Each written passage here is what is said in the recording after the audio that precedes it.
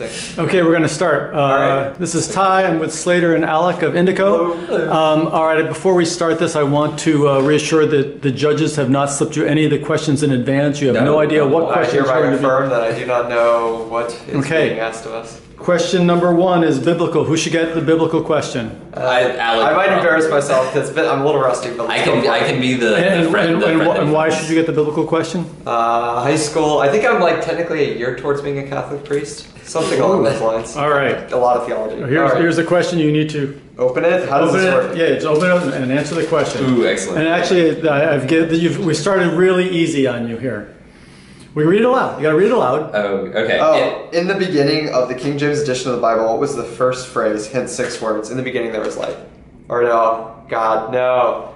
King James edition. In the beginning was the was the word. Was the word? Oh, So shit. give us. Oh, you give me a hint on the. Oh wow, this is. It- There's only one word left. In the beginning, All right. So the Uh, question the question is the word is indico. Give us the Genesis story of how you came up with the name indico. Oh, okay. oh, I love that. Okay. All right, yeah, yeah. So, uh, I, oh, this is a combo. Yeah, We're gonna tell both. Then. Okay, So, so so back when we first like formed this company, we realized that the first thing that we had to figure out was was a name. Um, so we went through you know 20, 30 different names. and we're like oh, typing think of, like- Swahili words into Google Translate, trying to see what they are. Like, Yeah, you know, like if we We're do terrible. Freedom in Japanese and data in Swahili and like cram the words together, what will happen? Um, and then we're like, okay, clearly we're no good at coming up with Yes. names. What are we good at? Machine learning. Um, so we went and we scraped the top couple thousand companies on Yahoo. It was Finance. actually a click a download a CSV. I like to so much um, and then and then we weighted the letter transitions by market cap and came up with statistically speaking the most successful possible name, and it said Indico. Now indico with a little i. Yes, with Now, a doesn't, little I. doesn't Very that mean important. that you're a captive of the of the past? You know, of the past trends. Not at all. It means we're welcoming and we don't put ourselves up on a pedestal. Okay. Just- Indico is for and of for the people. past. All right, Alec uh, took this one. I am going to give the next one then. Uh, I'm going to give this one to Slater, though I know Okay. Slater, you're going to actually be dumping that one on Alex. Oh, are you Okay. sure? so Are the, you sure? well, maybe not. Who knows? All right. So artistic photographic as I balance the coffee. Um, okay. I can take this for you. Oh, it's thank you. teamwork. All right. How can you fragment or reassemble a lolcat to look like a Picasso painting? Okay. Well, actually, th- so there's a spectacular library on GitHub made by some some developer that goes by the name Newmu. Oh god, no.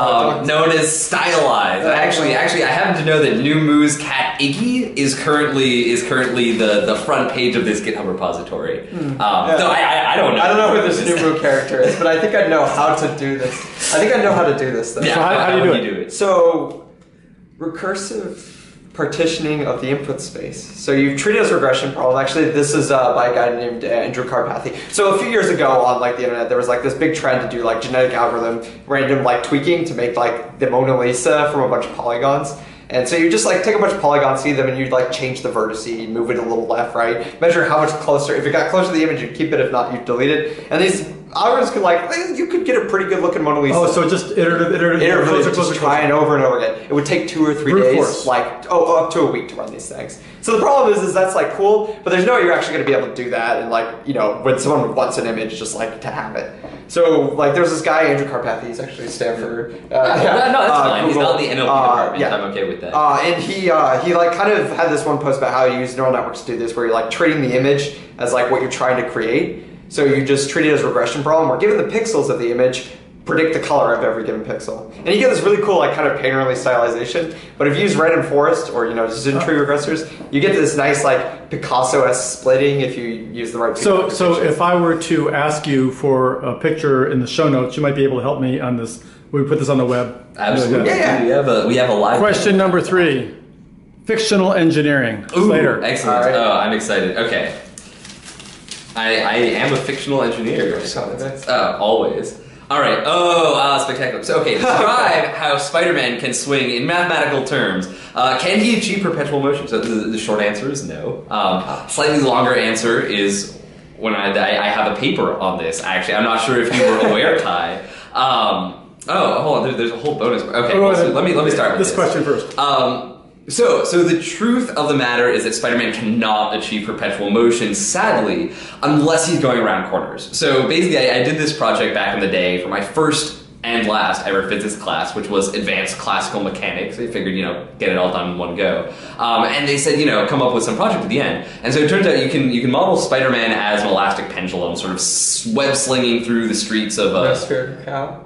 No spherical cow. Uh, Spider-Man actually is a point mass. Oh, okay. Spherical cows are a little little advanced for yeah, Spider-Man. Um, but no, so it turns out there are like certain strategies for swinging that Spider-Man can adopt, depending on whether he wants to move forward very quickly while losing speed. Um, so basically, like what you have to assume is like when Spider-Man shoots out the web, it's already sort of like pre-stretched. Um, and then he like basically like goes towards each web. He cannot achieve perpetual motion, but he can actually go several kilometers. Oh, did you ever see those, the thing with the balls and the strings where you can sort of zing it? What's that? What's Yeah, the principle? yeah. I forget. You know, when you sort of, it's like almost like a yo-yo. You can skip these things whipping around.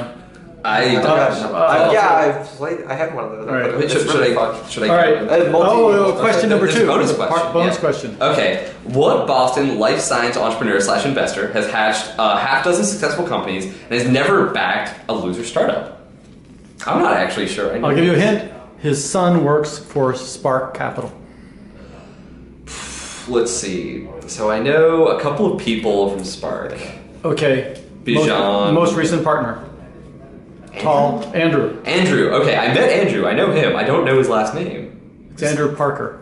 What's his father's name? Peter Parker. It's Peter, Peter Parker. It's, it's Oh, oh, that's oh, that's spectacular. All right. Oh my goodness. Oh, God, that's All a good right, one. we have our choice Yeah. between source and sorcery, historic poetic, or mathematic cinematic. Oh, I- I'm gonna leave Alec up to this one. I, I've taken the last two. Uh, so source and sorcery. I Source think? and sorcery, Yeah, there it let's is. try All right. All right, what's good? What's this one gonna be?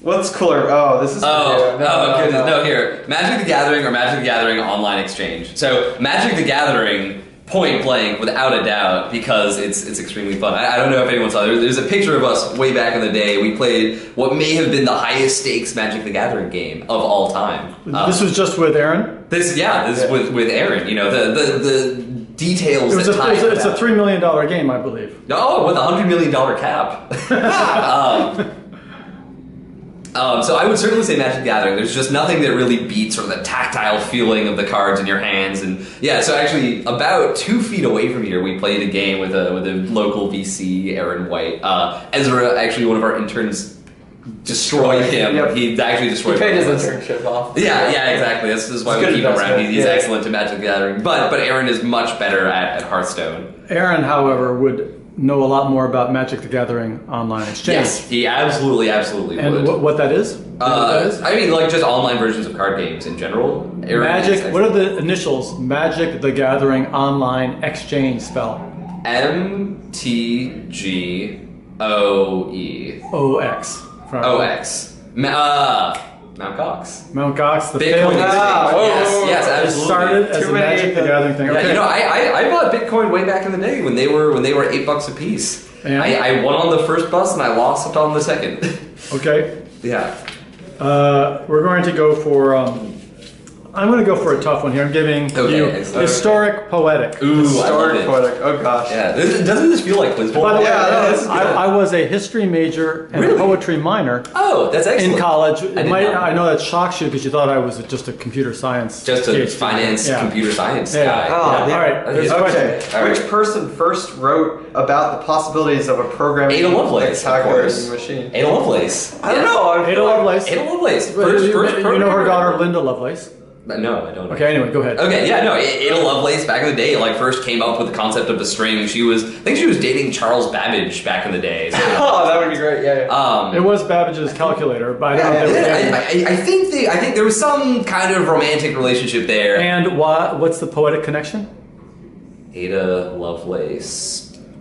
Her father was Lord Byron. Oh, Who oh, was- right, that who is was right. a Who died? Who, who died small in a war of a disease? who, who was known as a uh, philanderer, and her That's- that's mother wanted good- her far from poetry, So and mathematics so she went to mathematics. it's a but, good, good distance. but That's she still got the, distance. the creative juices going. yeah. All absolutely. right, um, mathematic, cinematic. All right, all right. Let's see. that- Let's see that what happens here. Okay, Uh, I do like math. All right. Oh, I see. What is? What is an Erdos Bacon number? Uh, why is it? Why is the world's lowest Erdos Bacon number number three, but is going to two? Okay, so an Erdos Bacon number is the maximum of I, the maximum or the sum. The sum. The sum. Oh, ooh. This, Well, first of all, what's an dish and what's a bacon? Right, so an Erdos number. Uh, so Erdos was an extremely prolific mathematician. I believe the most prolific mathematician of all times. He would basically walk into math departments and they'd say, "Oh, you know, we've been really struggling with this problem for a long time." He would sort of sit there, sort of think about it for like 10, 15 minutes, and be like, "Well, if you thought about it like this," and be like, you know, and inevitably it would be the answer. Um, and so he ended up being sort of co-authors on just hundreds and hundreds of papers, um, and it just built up to this point where everyone wanted to know, you know, how far away from Erdos are you? You know, this extremely prolific person. So if you co-authored a paper with Erdos, your number is one. If you co-authored a paper with someone who co-authored a paper with Erdos, your number is two. Um, and, and so on and so forth. Uh, Bacon number is similar, but with acting in some kind of film. I don't believe, is it limited to movies, Todd? Uh, No, no, it's the seven degrees of Kevin Bacon. Right. Okay. Yeah. Just some uh, commercials, any anything of the sort. Um, the world's lowest. Okay. So I believe I remember why it's going to two. I don't know why it's. I mean, presumably the reason it is three is because someone Someone has an Erdos number of one and a bacon number of two. Yes. Um, and the reason it'd be going to two is presumably because that person's going to act with Kevin Bacon in a movie. And I'm backing that project on Kickstarter. Spectacular! Oh. Spectacular! Spectacular! Yes. Uh, and the Okay. final, the final question. All right. This is Ooh, this is one? exciting. No, this is you both get to answer this one. Okay, let's let's open it up. Who would each of you rather be, Steve or Woz, and why? Oh, this is this one hits hits Oh, right God. right to, Oh, God, right, right I'm- down go, go for it, Alec. Um, unfortunately, I don't know actually too much about Apple history. Oh, Slater's a big Apple gonna be fan, hard. but I'm not. so I, I want to. Oh, I'm sorry, I'm not a yeah. fan. I did read the, like 800 page biography. Yeah. I can't. I kind of am a fan. yeah, a little bit. Yeah, I don't know. Uh, Woz seems like my guy. My dad gave me my like helped me build my first computer when I was five, so it's like always that kind No, of thing. Steve was very technical, Yeah. even though people don't think of him that Well, way. but that's like I'm So okay, so the weirdest thing is like I think I would also still like Wells, but for a very different reason, Yeah. which is that okay. So now I'm going to show some of my true Apple colors. Um, when when Apple first went public, uh, a lot of the people that Steve brought on in the early days, including someone whose name I'm forgetting, but basically let him stay on his farm for a long time at Apple Farms, where they eventually got the name for the company. Um, his name was like Dylan K. I forget his last name. Came to Steve and was like, oh, yep, we went public, great. You know, now now what happens? Um, because Steve had sort of always promised he would take care of him, and Steve said, well, no, that's that's kind of like your deal. So like Steve didn't have like a lot of sort of friendship loyalty, but then what Woz did is Woz went to like every single person that like Steve had kind of like promised shares to, and said, don't worry, I will give you my shares. Yeah. Yeah, uh, and so Woz went and took care of like all these friends, and that's something that I, you know, really do admire. But later Steve, early Steve, I don't want to be. I think he was too too off the walls. Later Steve, when he really sort of like got things together, he started being like a much better, like he, I don't know, real real family man, which I guess sounds weird coming from me. So Well- early Steve, early Woz, late Steve. I don't think of it. I, I think whether you're a technical guy or a business guy, everybody would rather be Woz now. Because Woz is still alive. Uh, that, that, that is fair. Yeah, okay. But I mean, at least Steve doesn't have to deal with uh, being Woz, you know, being being kind of you know the Buzz Aldrin of Apple. Oh, yeah, that's true. All right. Thank you guys. Exactly. Thanks. Thank you, Todd. Mysterious random people who will be watching this. Yes.